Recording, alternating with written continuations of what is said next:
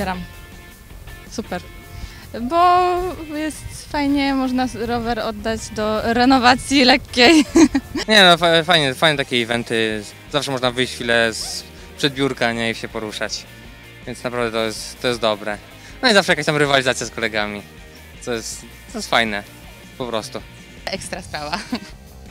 Bo można sobie wtedy przyjść e, do pracy, więc nie trzeba nigdzie wychodzić, nie trzeba się martwić. Świetny pomysł.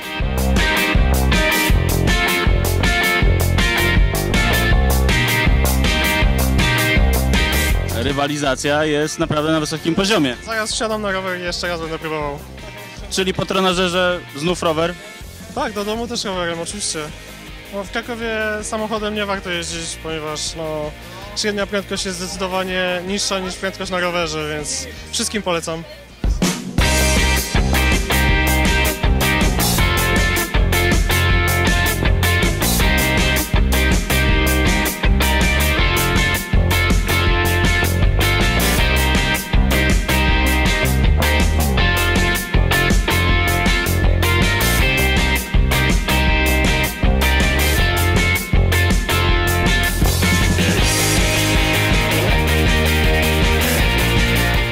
Kraków jest bardzo zakorkowanym miastem, a y, i zauważyłem, że jednak zyskuje na czasie, korzystając z roweru, a nie jeżdżąc choćby komunikacją, y, czy też własnym samochodem.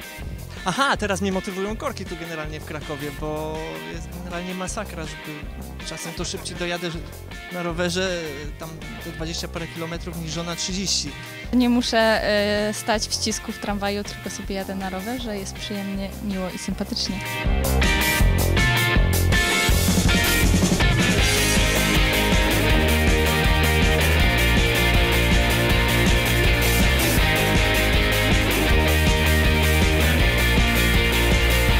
Nie znam wiele lokalizacji, które mają tak dobrą infrastrukturę rowerową tutaj. Począwszy od szatni, prysznice, parkingi, parkingi strzeżone dostępem, także jest bardzo dobrze moim zdaniem. Jest dobrze, jest spoko, jest dużo miejsc parkingowych na rowery, mamy swoje szafki, można wziąć prysznic po jeździe, także jest ekstra. I to w ogóle uważam, że to jest super pomysł, że są rowery, które można sobie tak wypożyczyć nieodpłatnie. Ciężko było? Tak, ciężej niż się spodziewałam.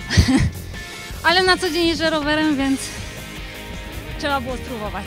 Jest bardziej ulga, że koniec, czy radość, że zwycięstwo? A radość, że zwycięstwo.